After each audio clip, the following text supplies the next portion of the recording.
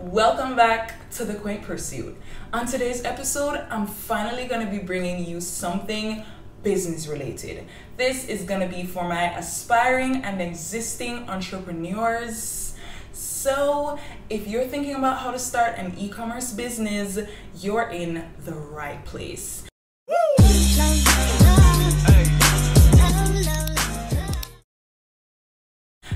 Of all, what's e commerce? E commerce is pretty much selling on the internet. E commerce is pretty much a way that you can streamline all your sales and get your sales to be done in a much easier way than how we're used to doing it. So today I'm going to share with you a few steps that you can take in order to start an e-commerce business in 2021 and this is to be for my product-based aspiring entrepreneurs or existing entrepreneurs. If you're new here, I'm Gabby. I also call myself the Quaint Boss and this channel is perfect for aspiring fashion designers, aspiring entrepreneurs and people who just love to make their own clothes. Because on this channel I teach you how to sew, I teach you how to make patterns, and I also teach you how to be your own boss okay so if that sounds good to you hit that subscribe button and don't forget to click the notification bells so that whenever i post a new video you'll be updated and you'll never have to miss my content by the way, if I say anything in this video that really resonates with you, give this video a thumbs up and share it with a friend who also wants to start an e-commerce business. But without further ado, let's get into the content, shall we? Step one to creating an e-commerce business is finding a product to sell. This product could be something that you manufacture yourself or something that you buy from someone else and resell. And once you've found that product and that idea, the next thing you want to do is to create a business plan. And with this business plan, you're pretty much going to write out or pen out everything that you want to achieve with the business. You're going to write out your sales strategy. How are you going to sell? How do you plan to finance the business? What are the goals that you have and how do you intend to achieve those goals? A business plan will come in handy if you're trying to get a loan or if you're trying to get someone to invest. And I find that overall, having a business plan is writing an outline for yourself that will keep you in check at all times. It will keep you remembering what the purpose of your business is and why you got started in the first place. The third step to starting an e commerce business is to get funding. This is pretty much how you will fund your business, how you will buy products, and how you will fund the runnings of the business. So, you could do this using your own money, your savings, you could get a small business loan or just a loan overall, or you could get someone to invest. And this is where the business plan is going to come in handy because an investor will want to see how it is that you plan to make this business successful before they're willing to invest and to give you their money. Unless it's someone that truly believes in you and already knows what you're capable of.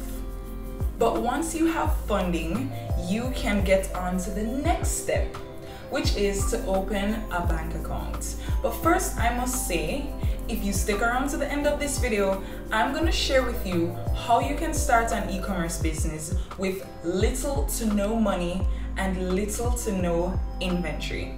So keep watching.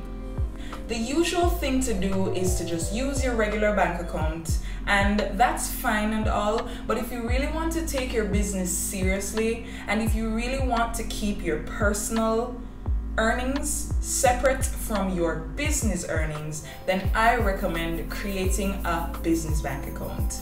A tip that I have for you is if you can, open a US bank account. A US bank account will come in handy in so many ways. And when you're opening a Shopify account, I know for sure that you need a US bank account to get payouts and also to utilize Shopify payments. The next time you travel to the States, make it your priority to open a US bank account. And the bank that I recommend doing that with is Bank of America. I actually created a video showing you how to open a US bank account without a social security number. It's gonna be linked in the cards up top here and it's also gonna be in the description box down below. So after you watch this video, go check that video out. I'm pretty sure there's something there that you can benefit from. But once you've opened your US bank account, we can move on to the next step, which is to source the products that you're gonna be selling. So this is pretty much the stage where you build up your inventory and have as many things as you can so that when you launch, you'll have more than enough products to sell. If you're a handmade business owner, then you want to make as much of those products as you can. The next thing you want to do is to create a brand identity. So your brand identity is pretty much how your customers will see your business. It's pretty much the colors that go with your business, the logo that goes with your business, your method of communication, and the culture of your business. So if your brand color is gonna be red and white, then that means you're gonna create content with the colors red and white. That means your logo is gonna be red and white, or at least contain the colors red and white. That means that whenever you're making a flyer, you're gonna have red and white on that flyer somewhere being just a business, it's just you selling things to people. But when you create a brand out of your business, you're creating a group for people to become a part of. Think about it, for example. Brands like Apple, like Nike, like Michael Kors, like Clarks. Those brands are brands that they're not just selling a product, they're also selling an experience. So, as a brand, you have to create an experience for your customers to become a part of. Next step is gonna be to create packaging. Packaging is a part of your experience and it's also a part of your brand. So you want to take some time out to really think about what your packaging is gonna be. When you just start your business, it's normal for you to not have things together, but just imagine how people would feel if you just started your business and they see that you already have things together. I think they would feel pretty good. They'll be impressed. You get good feedback, and people will keep coming back to you because they see that you have excellent packaging and excellent branding. I created a video on my channel showing how you can package your products. So you can check that video out here in the cards or you can check it out in the description box down below. But I pretty much have everything that you need there to figure out how to create really good packaging for your products. I even show you how to make the box. That's everything you need right there. Okay? In the packaging, you can also include things like thank you cards, but don't worry, that's in the video, so make sure that you watch that video after watching this one. The next thing you want to do is to take product photos. And product photos are pretty much images that you take of your products that you will use on your website and on your Instagram page and possibly in any lookbooks or magazines that you might create. You also want to create videos because videos tend to be a lot more captivating than images. An image is still. And as much as they say a picture tells a thousand words or tells a story, a video will always do that much better than a picture will. So create videos of people wearing your products, of people using your products in whatever setting, show the benefits through the form of that video, and capture as many details of that product as you possibly can. So you want to capture the texture, the size, the shape, everything. You want to show somebody wearing it, you want to show it being used in whatever setting. Just do as best as you can to create as much content as possible. This is gonna come in handy when you create your Instagram page. I also have a video where I show you how to take your own product photos with your iPhone so you don't need a camera to get started. You just need to start with what you have. And you can also check that video out in the cards up top and in the description box down below. And if you're finding this content helpful so far, I would love it if you could give this video a thumbs up. It really helps my channel. The next step is to create an Instagram page. Instagram is a powerful platform that if you use the right hashtags and use the right caption and use the right call to actions, it can really make your business into a monumental success. When you start your Instagram page, I recommend that you start posting at least a month or two weeks in advance before you actually launch your product and your website. And the reason why you want to do this is so that you can build up anticipation and get people to know about you, get people to get excited basically. You want them to just be waiting for you to just drop this product and drop this website. So by the time you launch you will have people who are already interested because you've already been doing the groundwork to get them to know what it is that you're selling. It's also a good time for you to let them get to know you when they have a face to put to the brand or the business and a personality to put to the brand or the business, they're that much more likely to buy because they love you as a person. They love your personality. They love what you stand for.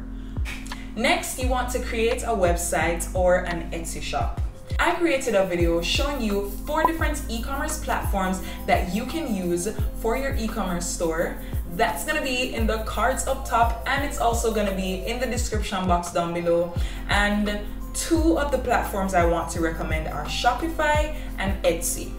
Shopify allows you to create your own website without having to do all the programming stuff. You can download themes and really have fun creating a website that looks like you made it from scratch. But Shopify makes it easy for you to design that website, but that's if you're willing to take a little time to get to understand it.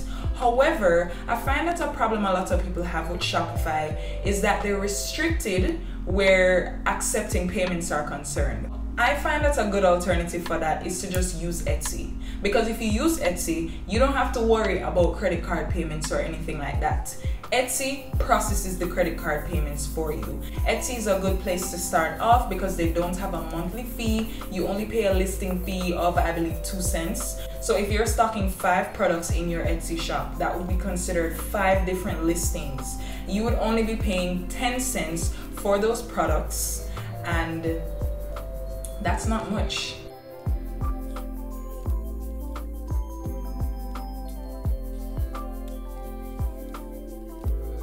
Shopify definitely does have a monthly fee, and that's $29 every month. So now that you've had your packaging together, you have all your products, you have your bank account open, you have your website created, and you've created your Instagram page, and you've been talking to people about your products, now is the time to launch your business and to launch your website, launch your products. So, this whole time, all you were doing was just promoting your product and talking about it. Now, you can actually tell people where to go and buy that product. So, this is where you want to run Instagram ads to show to as many people in as many places as you want this is where you're gonna get in touch with influencers and get in touch with people who you think might love your products. Tell them about your products, tell them about your website, send them your link. And if you're talking to an influencer that's willing to create content for you and to collaborate with you and to post you on their Instagram page and tag you, then that would be great okay? So you want to promote as much as possible get as many eyeballs on your product as possible and always send people to your website tell them where to go. Tell them how to shop on your website. Give them a tutorial a video tutorial a written out tutorial whatever it is. Let them know exactly how to shop on your website. Let them know what payment options you accept how soon their product will be delivered what to expect, your return policy, your refund policy, all those details. And you can put these things on your website so that when people go on your website, everything is there and you don't have to be explaining yourself over and over and over again. Cool? So let's get on to the second to last tip, which is that when you finally start getting orders and sales, get testimonials and images from the people who have bought from you because that is gonna help you to be able to sell to more people. And when those people see that other people are buying from you, they'll be much more likely to actually buy from you. So get testimonials, get pictures, get feedback. If anybody's having issues with your products, you can fix those issues so that you won't have those complaints anymore. Oh, by the way, make sure that you fulfill your orders as soon as possible and tell your customers thank you. Really express your gratitude and let them feel your gratitude. Because when they feel that you're grateful, they feel that they've really done something good by supporting your business and they'll be that much more likely to possibly encourage other people to buy from you as well. So the final tip is that once you see how your business is going, this is when you can register it. And I know most of you are wondering why didn't I mention this earlier in the video? And the reason why I didn't mention it is because sometimes a business may not work out the way that you wanted it to work out. And it wouldn't make sense for you to register it and then it's just a big flop. I would recommend that people actually test businesses for as long as they can first. And then once you test it and you see how it goes, if it goes well enough for you, then you can register your business because registering a business takes money and it takes time. And you wouldn't want to waste your time and not end up going through with the business. So once you've seen how it's going after let's say a month or a couple of months, 3 to 6 months maybe, then you can register it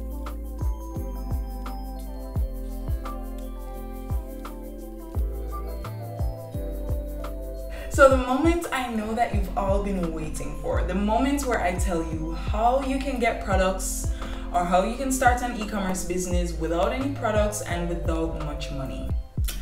The secret is drop shipping. And drop shipping is pretty much where you sell a product that you don't have to ship yourself, that you don't even have to touch, you don't have to buy or anything of that sort. This is something that I discovered last year and this is gonna be with a specific website called Printify. And on Printify, what they do is that they print on items for you and they send those to people whenever they order through your store. So you can hook it up to any e-commerce platform that you're using. I know that you can hook it up to Shopify, I know that you can hook it up to Etsy, and I know that because I've tried it myself. I actually have a Printify item listed on my Shopify website right now, and I have something listed on my Etsy store. So it's a cushion with my logo on it and then on my Shopify store, I have a sweatshirt with my logo on it as well. What will happen is that you go into Printify,